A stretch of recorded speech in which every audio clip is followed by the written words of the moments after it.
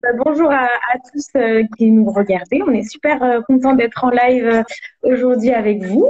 Et on est donc avec la mission locale de Lyon. bonjour Corinne, on a réussi à se connecter, c'est déjà super.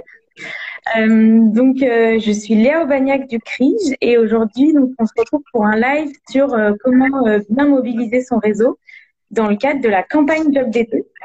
Euh, donc la campagne Job d'été, en quelques mots, l'idée c'est d'accompagner les jeunes pour euh, les aider dans leur recherche de, de job d'été, surtout en cette période un peu euh, un peu particulière. Donc on essaye vraiment de donner aux jeunes toutes les clés pour pour bien réussir leur recherche job d'été. Donc avec des accompagnements individuels avec des pros, des accompagnements collectifs avec des ateliers, etc. Et vous allez retrouver aussi des offres de, de jobs sur les réseaux sociaux et sur euh, le site Info Jeune Lyon. Donc, n'hésitez pas à aller voir, il y a un peu des nouveautés tous les jours.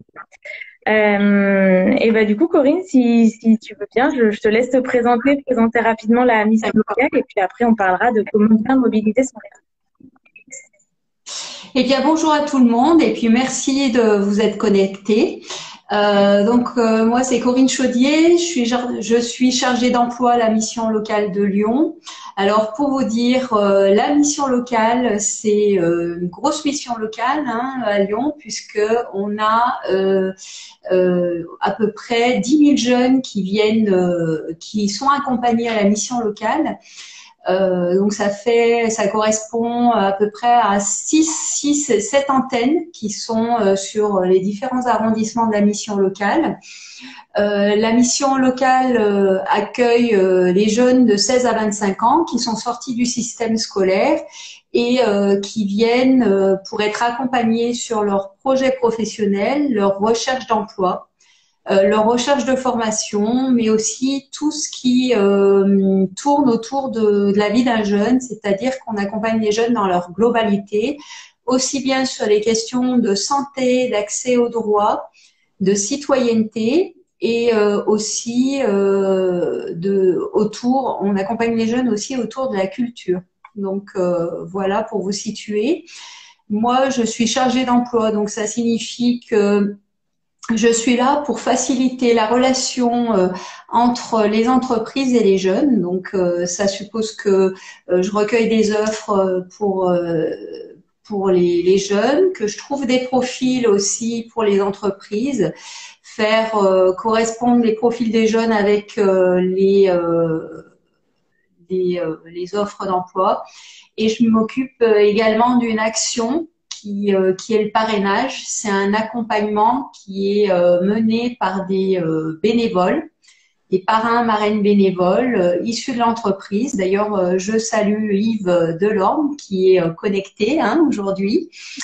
Et voilà, le principe du parrainage, c'est d'être accompagné sur la recherche d'emploi et c'est un bel outil pour activer son, son, réseau. Je vous en parlerai peut-être plus tard, mais voilà, c'est une c'est une belle opportunité. Ça permet à 85 jeunes euh, d'être accompagnés par ses parrains bénévoles.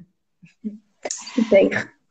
Euh, et du coup, l'idée aujourd'hui, c'était de parler voilà, de comment bien mobiliser son réseau et notamment dans le cadre d'une recherche de job d'été, parce que c'est vraiment la, la, période en ce moment euh, où les jeunes recherchent des jobs.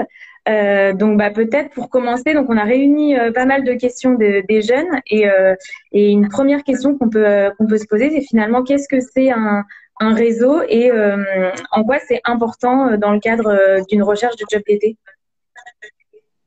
Alors un réseau, c'est vraiment tout ce que tout ce que les personnes qui sont autour de vous vous allez rencontrer vont vous permettre, vont vous apporter en termes d'opportunités d'emploi.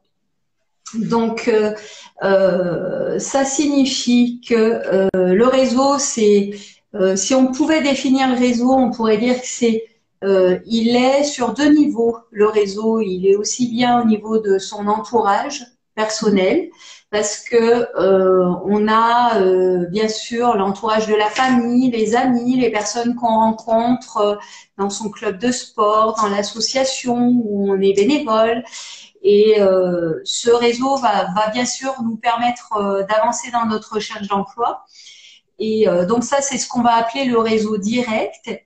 Et il y a aussi le réseau indirect, le réseau qu'on connaît pas forcément aujourd'hui, qu'on va rechercher. Donc, ce réseau qu'on va rechercher, on va le faire par l'intermédiaire euh, de notre réseau euh, propre, mais aussi euh, par l'intermédiaire des entreprises qu'on va rencontrer et celui qu'on va aussi construire avec des organismes qui favorisent l'emploi des jeunes.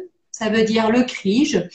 Le CRIGE, ça peut être le Pôle emploi, ça peut être la mission locale, ça peut être d'autres dispositifs, Télémac ou autres mais c'est un réseau qu'on va construire euh, notamment aussi euh, grâce à des euh, événements emploi. Bon, aujourd'hui, actuellement, les événements emploi se font plutôt sur des, des vidéos en ligne. Vous avez des teams emploi et là, justement, cette campagne job d'été qui a commencé avec le CRIJ, ça peut être une opportunité pour pour vous, pour les jeunes, pour tout le monde, pour se construire un réseau également. Super. Donc voilà, j'espère que j'ai pu répondre à cette question un peu introductive. Bon, super. Et, euh, et vous diriez que finalement, comment on arrive à bien identifier euh, vraiment les personnes qui vont pouvoir nous aider dans, euh, dans cette recherche, donc par exemple spécifiquement job d'été, comment on fait pour justement identifier les bonnes personnes et, une fois qu'on les a identifiées, et ben concrètement, comment est-ce qu'on peut les, les contacter pour solliciter leur aide? D'accord. Alors, euh, comment on va les identifier? Donc, ça veut dire, déjà, il faut se poser la question, se dire, il faut que je sois très ouvert dans ma démarche d'emploi et se fait dire, euh, euh, tout pour moi, toute rencontre est bonne à faire et il faut pas se fermer à toutes les rencontres que vous allez faire. donc ça, c'est, je pense, très important parce que euh, quand les jeunes viennent nous voir euh, sur le parrainage, euh, ils vont nous dire ah moi je veux rencontrer une entreprise dans mon domaine de métier parce que je veux voir des personnes qui sont en direct. Mais je pense que toutes les entreprises sont bonnes à rencontrer, toutes les rencontres sont bonnes à faire. C'est pour ça qu'il ne faut pas hésiter à faire savoir dans votre entourage euh, votre famille, vos amis, euh, vos euh, copains qui, sont dans le club de sport, vos, amis, vos enseignants, pour leur dire, bah, voilà, moi je cherche un job d'été, j'ai un peu cerné mon domaine de métier, donc ça c'est vraiment important, se poser, de, de, de s'ouvrir sur toutes les rencontres qui sont possibles. Après, il y a aussi toutes les démarches qu'on peut faire parce que euh, il faut pas croire que le voilà, activer son réseau, ça veut dire euh, moi j'ai du réseau parce que dans ma famille euh, j'ai mon oncle qui, qui, a une entreprise, mon cousin qui est euh, dirigeant d'une du, entreprise ou directeur d'une association. Non, il y a des personnes qui sont pas dans cette situation et pour autant, ça ne veut pas dire qu'elles vont pas pouvoir développer ce réseau. Au contraire, euh, il va falloir effectivement être stratégique. Donc, qui dit stratégique, c'est euh, s'organiser sur ces démarches. Donc, ça veut dire euh, déjà identifier quels sont les métiers qu'on a envie de faire pendant cette période d'été, quels sont les métiers qui nous semblent à notre portée. Ça passe déjà par une bonne organisation, c'est d'avoir un CV bien ficelé. Donc la première étape, si vous sentez que vous avez des difficultés pour faire votre CV, bah, c'est peut-être aller voir les organismes qui vont vous aider à ficeler votre CV. Donc là, on, est quand même sur une démarche réseau parce que si vous allez voir le CRIJ ou un partenaire du CRIJ pendant cette période qui est notée sur la programmation, vous faites une démarche réseau parce que vous êtes là pour vous faire aider sur votre CV. Donc c'est une première personne que vous allez vous rencontrer. Cette personne va sans doute vous informer sur euh, sur des, des, actions, sur euh, euh, des opportunités d'emploi. Donc il faut y aller. Donc ça c'est la première étape si on veut être accordé, si l'on veut pardon être organisé sur sa recherche d'emploi, sa recherche de réseau. Être efficace. Après il y a effectivement tous les forums. Euh, là, donc, on a euh, euh, des, actions, des Insta Live, vous avez des, des ateliers. Là, moi, j'organise un atelier Activer son réseau demain hein, à 14 heures par le biais du CRIGE. Mais vous avez pour les jeunes qui cherchent une alternance prochainement le 28 mai sur Lyon les chronos de l'alternance.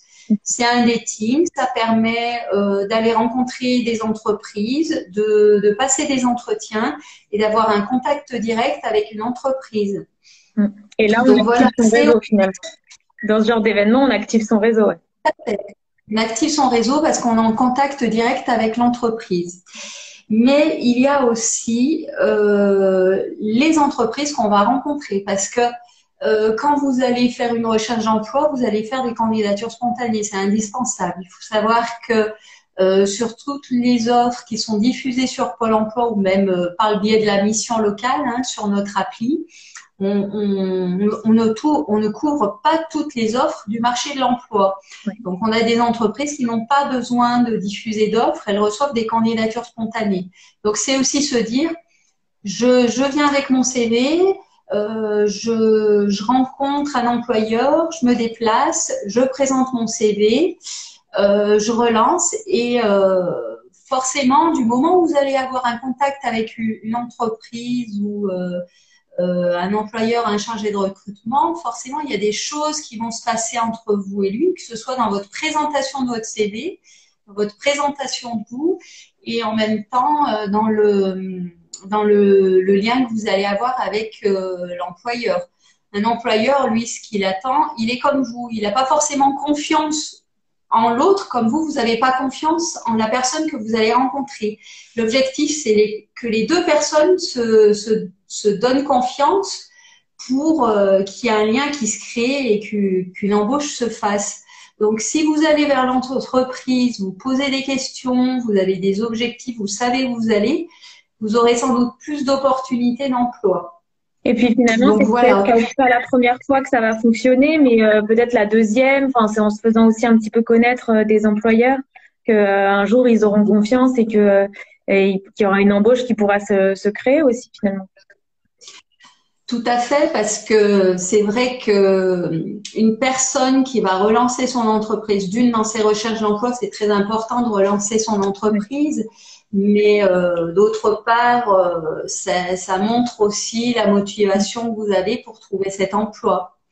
Donc euh, voilà, moi c'est vrai que ce que je dirais dans la recherche, cette recherche de, de, réseau, de création de réseau, c'est que vous êtes vous êtes acteur en fait de vos démarches.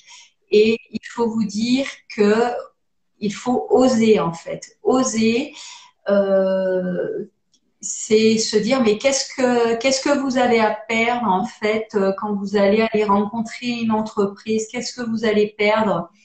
Euh, si vous si, l'employeur euh, donne pas suite c'est la seule chose que vous allez perdre. Après vous avez plus plus plus intérêt à vous aurez plus d'intérêt à gagner en allant voir des entreprises qu'en restant chez vous en attendant de, et en répondant à des offres. Donc, euh, je pense qu'il faut pas se fermer et oser.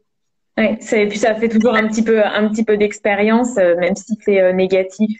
la réponse est négative, c'est toujours positif pour la suite. Et mm. alors finalement, quels sont les conseils que vous pourriez donner pour justement mobiliser ce réseau de manière efficace? Est-ce qu'il y a voilà des choses à ne pas faire, des erreurs à éviter, et au contraire vraiment des choses qui sont importantes à faire et auxquelles euh, bah, peut-être les entreprises ou les personnes de son réseau vont être sensibles finalement? Alors moi je pense que y a pour être efficace, déjà je pense que il faut que vous soyez au clair par rapport à vos outils de recherche d'emploi déjà. Euh, c'est bien d'avoir d'être outillé, ça veut dire un CV euh, par, euh, parfait, ça n'existe pas. Hein. Déjà, je vous dis, mais un bon CV où on comprend bien quels sont vos objectifs, vous aussi quelles entreprises vous, pas quelles entreprises, mais quel objectif vous visez. Euh, on n'a pas parlé des réseaux sociaux et euh, je pense que c'est important aujourd'hui euh, sur la construction d'un réseau, c'est que il faut pas hésiter à utiliser les réseaux sociaux. Euh, c'est vrai qu'on a le réseau social LinkedIn qui euh, qui marche bien et euh, je pense que il faut faire attention à son identité numérique parce que ça peut porter préjudice dans vos recherches d'emploi. Et surtout si vous, voulez solliciter des entreprises par le biais de Facebook, par le biais de d'aujourd'hui, on est sur un Instagram ou euh, LinkedIn, c'est bien d'avoir une identité numérique qui soit assez neutre. Et euh, du coup, c'est important l'image que vous allez transmettre à l'entreprise.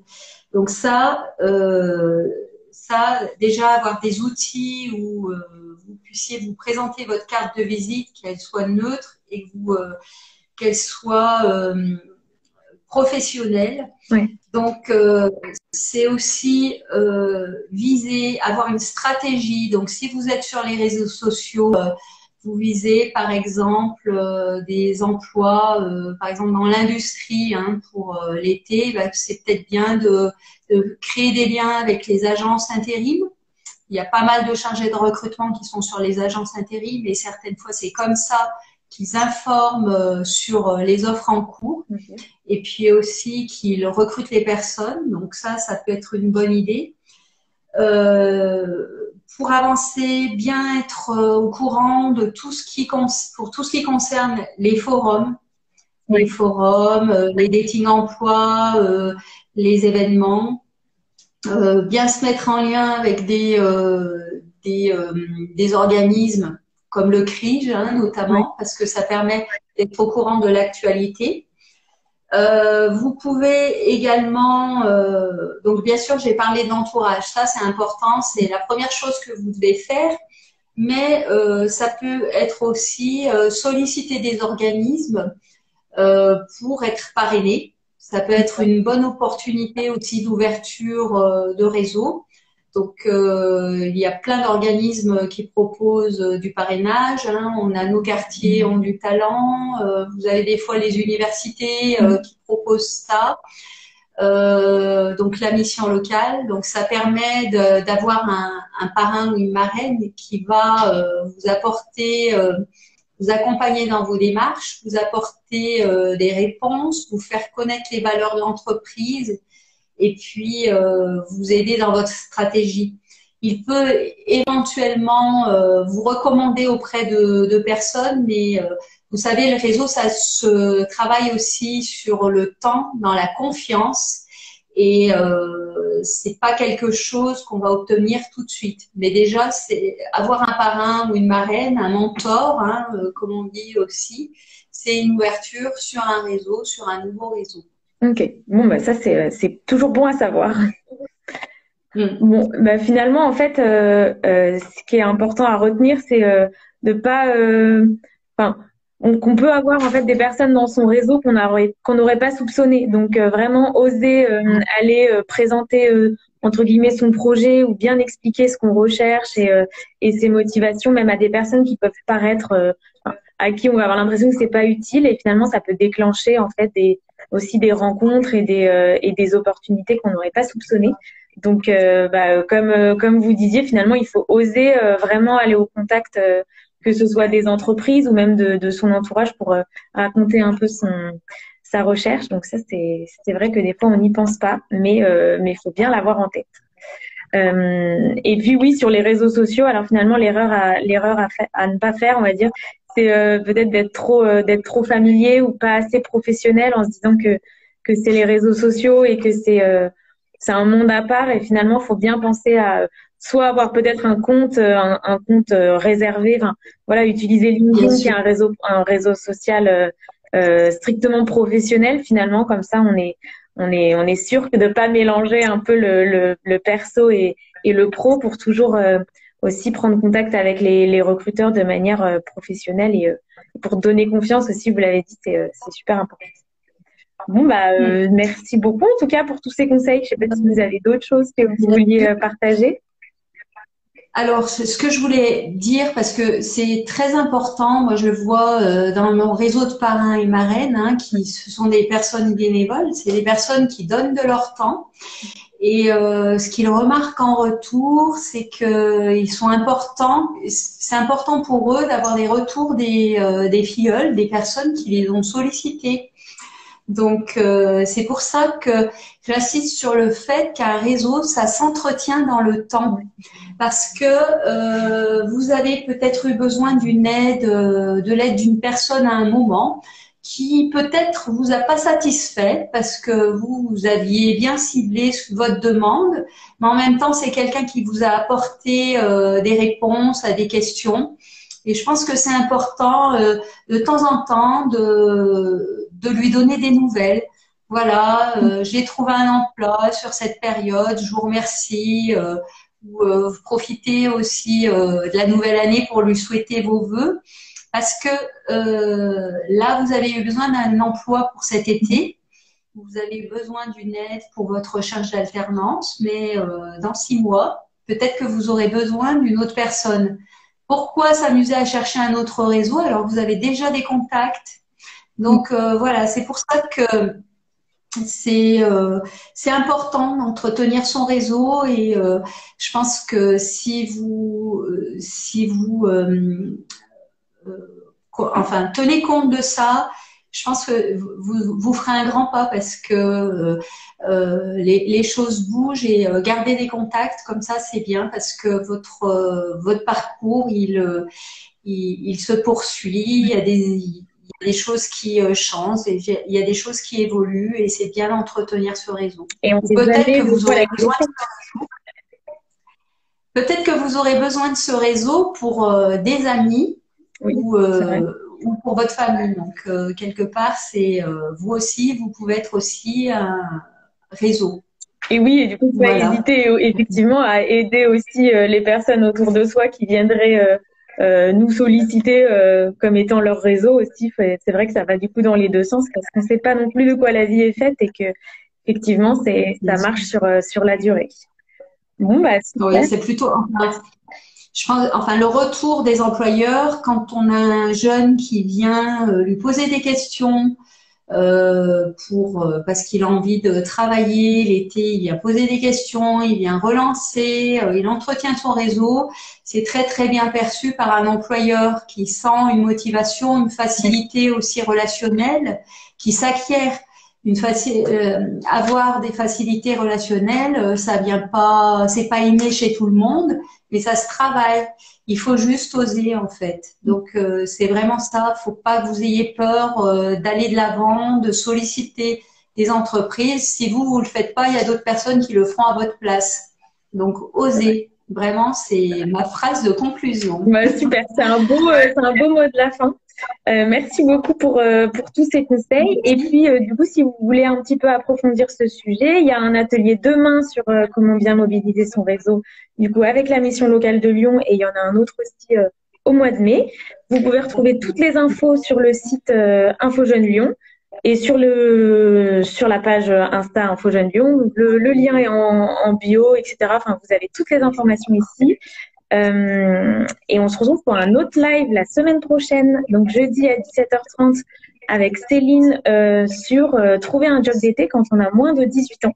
Donc, si jamais c'est un sujet qui vous intéresse, n'hésitez pas à venir jeudi à 17h30. Et puis, bah, merci beaucoup pour tous ces conseils. C'était super de pouvoir échanger là-dessus. Et puis, n'hésitez pas à vous abonner au compte Mission Locale et Info etc. Voilà, on vous souhaite une bonne soirée. Merci, bonne soirée. Au revoir. À bientôt.